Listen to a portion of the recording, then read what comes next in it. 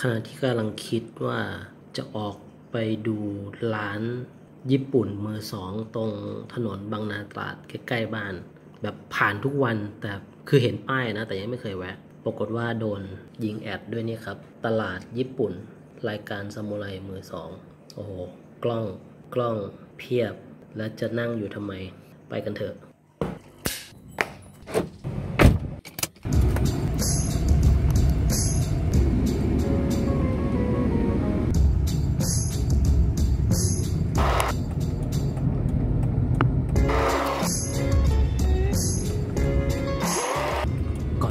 ต้อง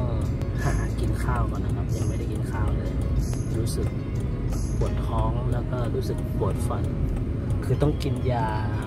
แก้ปวด เพราะว่าตอนนี้ปวดฟันอยู่แล้วยาต้องกินหลังอาหาร ไม่มีร้านเปิดที่พึ่งสุดท้ายก็คือหนีไม่พ้นเซเว่นอีเฟเว่นตอนนี้ประมาณ3โมงกว่าจะ4โมงแล้วอีกสังเกตเสียงเสียงเหมือนไม่สบาย ต้องกินยา ต้องกินข้าวก็เซเว่นอีเลฟเว่นเนี่ย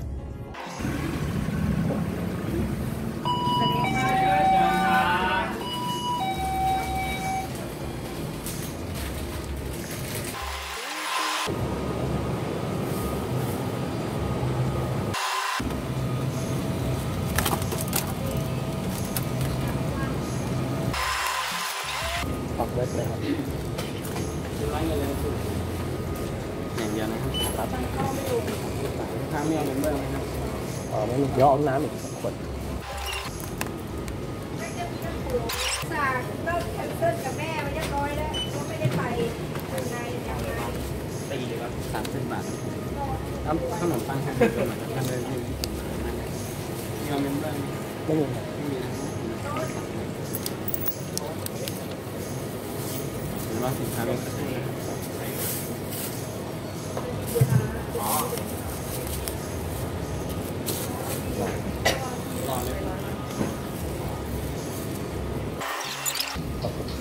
นั่งกินตรงนี้ได้ป่ะครับ ได้ครับผม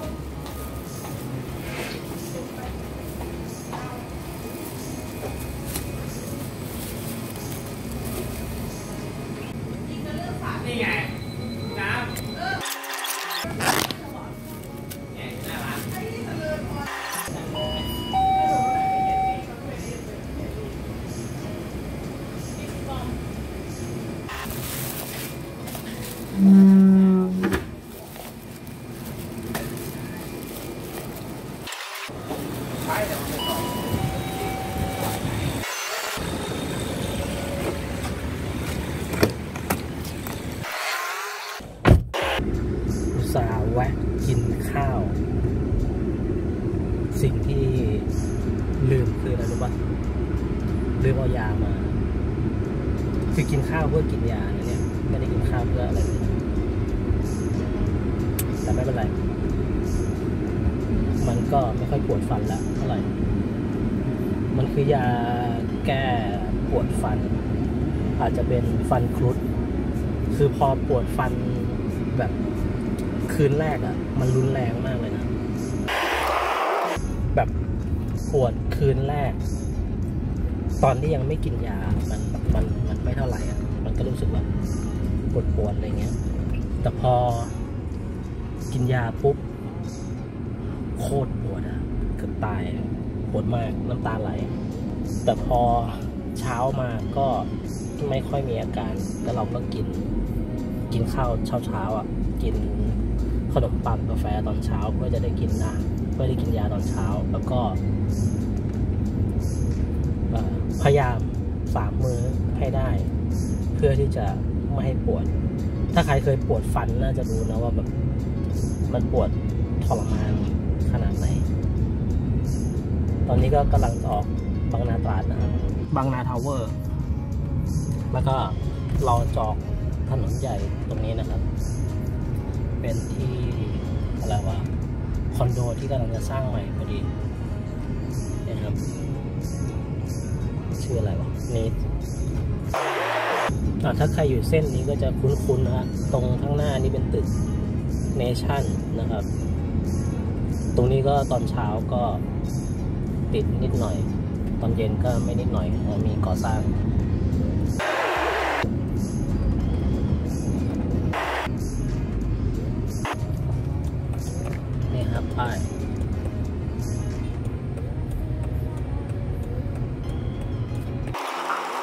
ก็อยู่ข้างๆกับตึกเนชั่นเลยนะครับ ขับเข้ามาก็จะมีร้านอาหารนะครับ แล้วก็เราก็จะเห็นธงญี่ปุ่น อยู่ตรงนี้นะครับ โกดังถึงแล้ว ที่เหลือก็หาที่จอดรถ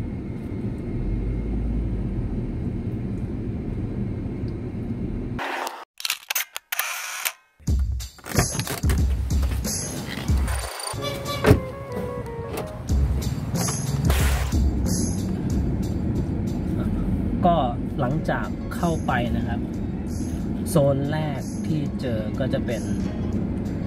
รองเท้าเลย อันดับแรกรองเท้าใหม่ เพราะเขาเขียนว่ารองเท้าใหม่ ใหม่สุดแล้วมั้ง แล้วก็ราคาหนึ่งคู่ห้าร้อยบาทสองคู่หกร้อยหนึ่งคู่ห้าร้อยสองคู่หกร้อยเดินเข้าไปสองข้างทางก็จะมีของเล่น มีกระจุกกระจิกอะไรเงี้ย เป็นของกระจุกกระจิกเล็ก ๆ มากกว่า แล้วก็ถัดไปเกือบสุด ก็จะเจอเป็นมุมของกล้องถ่ายรูปนะครับ แต่กล้องส่วนมากก็เป็นกล้อง compact ที่เก่ามาก แล้วก็คาดว่าจะใช้ไม่ได้นะครับ แต่มีอันหนึ่งที่เจอแล้วรู้สึกว่าเฮ้ยกล้องเป็นเป็นโลโม fisheye นะครับ ซึ่งมีอยู่ช่วงหนึ่งที่โลโมฮิตเนี่ยตัวตัวเนี้ยตัว fisheye ตัวเนี้ยก็เป็นที่นิยมเหมือนกัน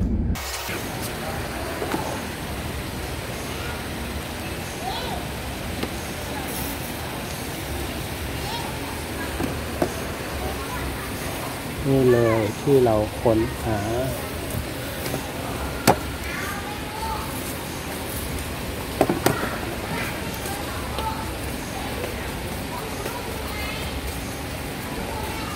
เป็นของราคาหลักร้อยนะครับ เฮ้ยแม่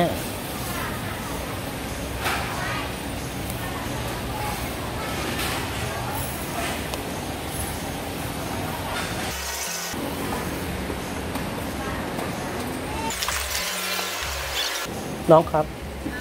อันนี้คือราคาข้างหลัง ตามนี้เลยห้าร้อยห้าสิบก็ได้ข้อสรุปว่าราคานั้นจริงๆ550คือจำไม่ได้ว่าราคา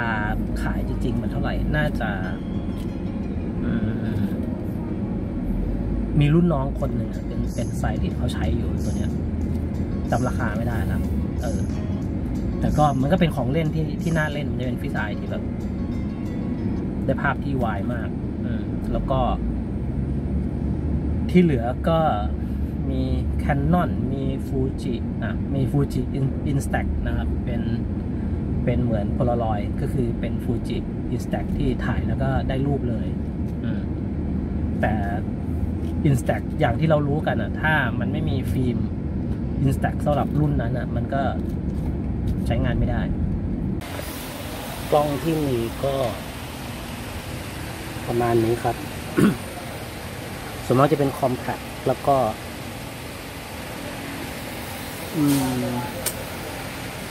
ไม่น่าซื้ออะไม่มีอะไร มีตัวเนี้ยที่เป็นโลโมตัวเดียว เป็นตัวฟิชไอที่เป็นโลโมที่เขาฮิตกัน ก็ราคา 550อือฮึที่เหลือก็ไม่มีอะไรเลย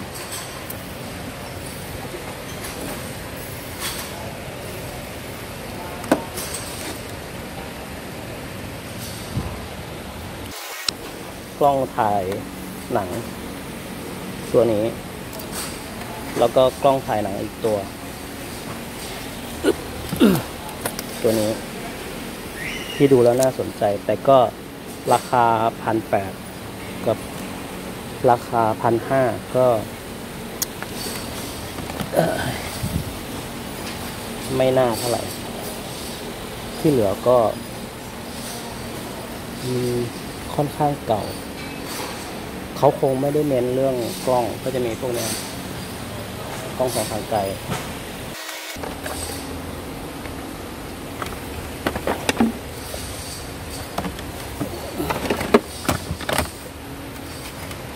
มีเครื่องเพลย์เกมเพลย์แอบไปอยู่ตรงนี้ด้วย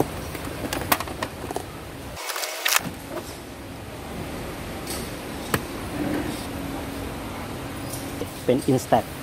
ของ Fuji Fuji Instax ก็ 550 กล้องถ่ายหนังนี่มีอยู่ 2 ตัว ตัวใหม่นี่ผมผมไม่รู้นะ ตัวใหม่กว่าดันราคาพันห้า ตัวที่เก่ากว่า แล้วก็ดูเล็กกว่าดันราคาพันแปดถ้าใครรู้นะครับช่วยคอมเมนต์หน่อยว่า อาจจะเป็นรุ่นที่ดีกว่า ก็เลยแพงกว่าก็ได้ลองคอมเมนต์ไว้ข้างล่างนะครับ ถ้าใครรู้จัก แล้วก็โซนที่เหลือก็จะเป็นตู้เสื้อผ้านะครับตู้เสื้อผ้า ก็ค่อนข้างเยอะ มีเปียโนน่าจะสี่ห้าหกหลังนะเปียโนเยอะเหมือนกัน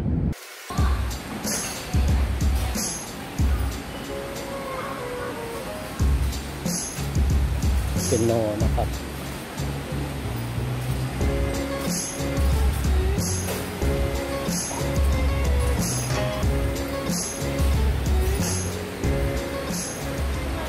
อีกมุมหนึ่งก็จะเป็นกีตาร์กับหมวกกันน็อก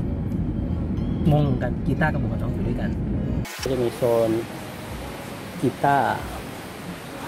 หมวกกันน็อกอืมทำไมกีตาร์กับหมวกกันน็อกอยู่ด้วยกัน แล้วก็นี่ครับ กิโลละร้อยห้าสิบ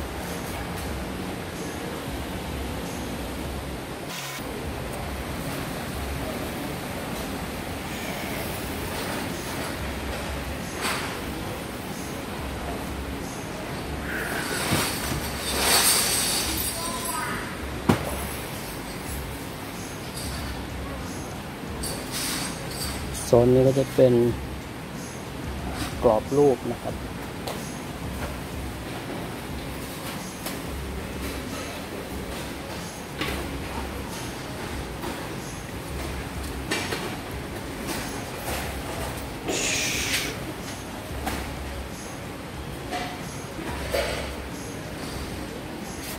โอ้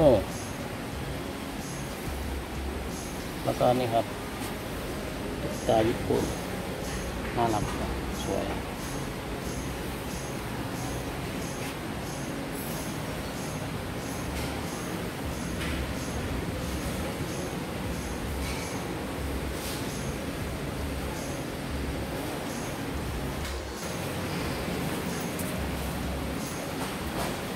ก็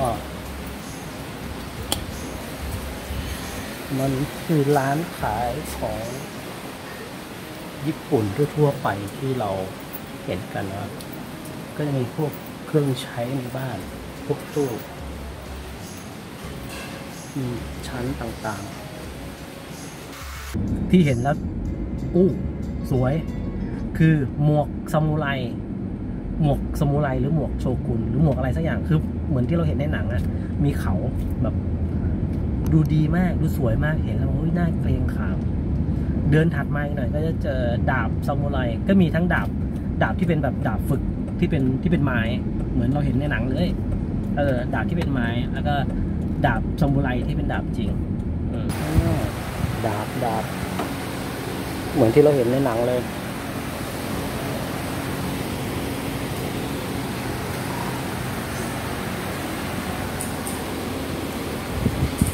ท่ดีนะ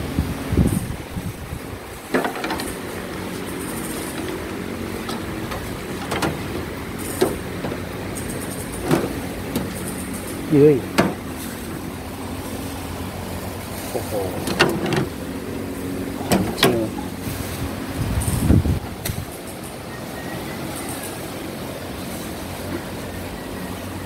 อันนี้ไม่มีปอก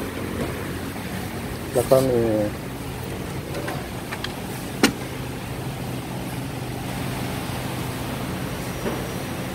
เยอะเลยอะ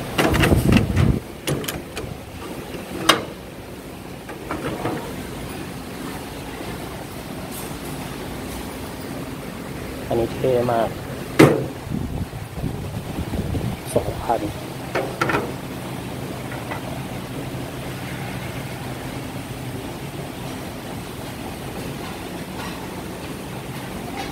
จักรยานล้อเดียวอืมก็มีเยอะเหมือนกัน น่าจะมาเป็นล็อต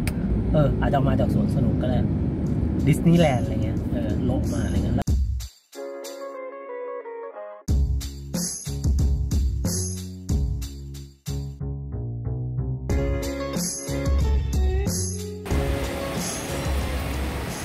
นาฬิกาโบราณเรียกว่านาฬิกาโบราณหรือนาฬิกาเก่า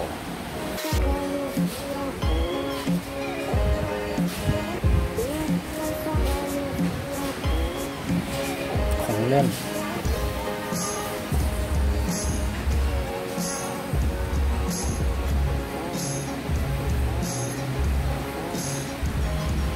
Becita.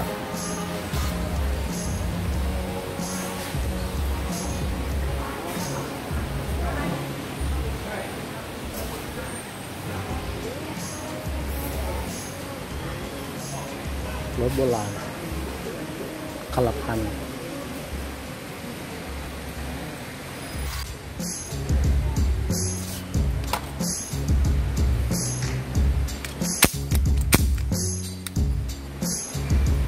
สิบ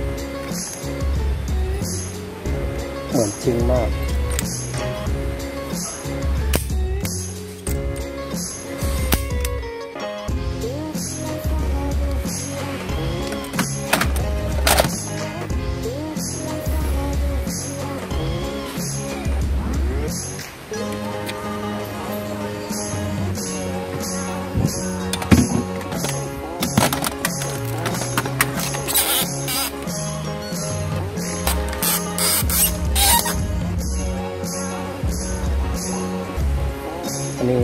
ห้า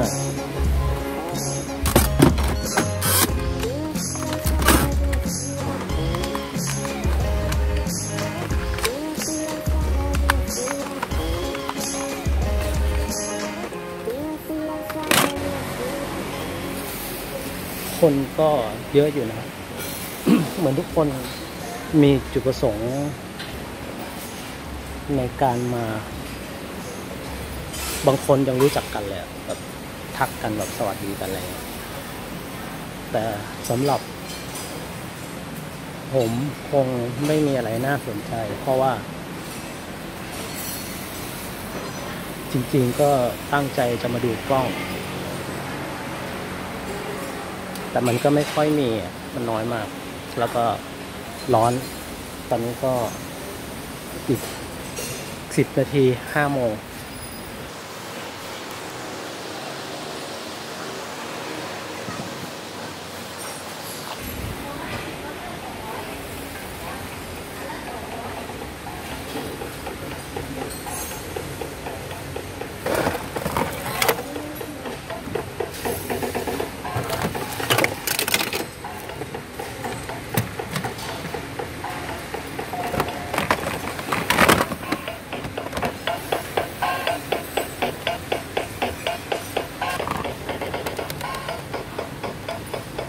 มันดังเอง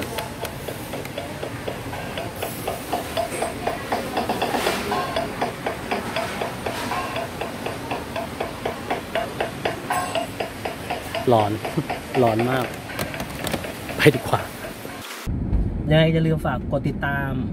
กด subscribe นะครับ แล้วก็อย่าลืมกดไลค์กดแชร์ด้วย ถ้าชอบคลิปนี้ กดกระดิ่งเพื่อที่จะไม่พลาดนะครับ ว่าคราวหน้าผมจะพาไปตะลุยที่ไหน แต่ผมว่าผมจะ เนี่ยแหละตะลุยร้านญี่ปุ่นเนี่ยแหละ ให้มันหมดเลยว่าที่ไหนมันมันเจ๋งสุด เออ ที่ไหนมันดีสุดมันเจ๋งสุด อยากรู้เหมือนกัน แล้วพบกันใหม่คราวหน้าครับต่อวันนี้ สวัสดีครับ